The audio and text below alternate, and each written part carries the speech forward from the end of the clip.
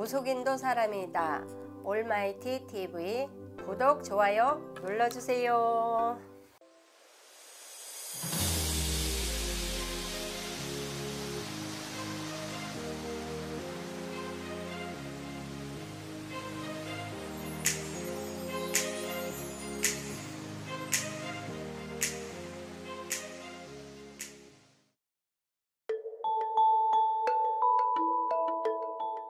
소띠들 가지신 사람들은 정말 고집이 세. 그런데다가 올해 경자년에 에, 묵는 삼재잖아요. 묵는 삼재인데도 그렇게 뭐 나쁘지는 않아요. 그러니까 너무 걱정하시지 말고 올해 소띠들 총 운세를 봤을 때는 그냥 좋지도 않고 나쁘지도 않고 중간이다. 주위의 사람들이 영향을 많이 받는 해가 되고 또 윗사람 아니면은 뭐 조상님 덕을 많이 보는 해라고 그럴까?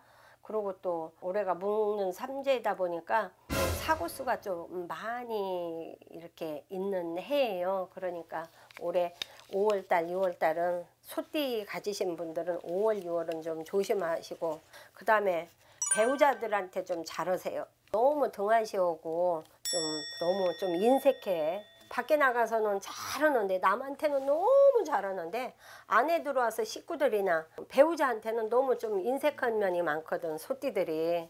그러니까 그런 걸 좀 고쳐가세요. 올해 좀 24살 소띠들이 좀 안 좋아요. 어 그러니까 좀 공부하는 학생들도 있겠지만 또 군에 간 청년들도 있을 거 아니에요.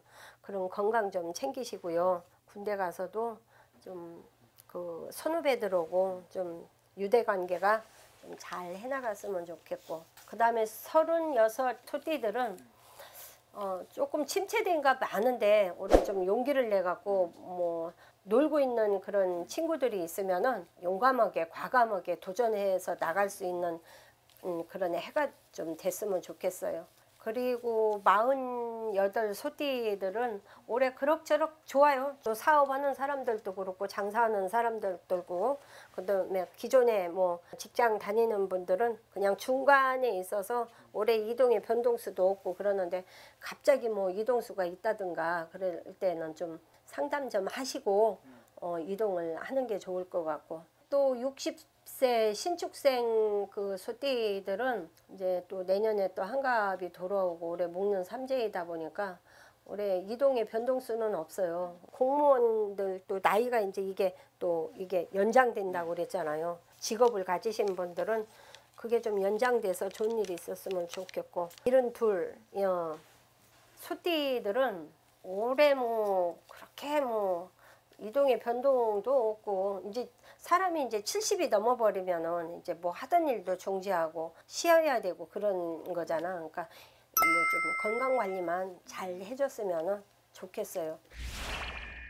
소띠들 어, 재물운을 봤을 때는 기회를 잘 봐갖고 사업을 시작하고 또 재물을 이렇게 마련했을 때는 신중히 잘 생각해서 하시면은 아주 좋은 기회를 잡을 수가 있고요. 의외로 애정운은 참 좋네. 소띠들이 애정운은 좋으니까 뭐 도전할 수 있으면은 좀 도전을 해도 좋을 것 같고요.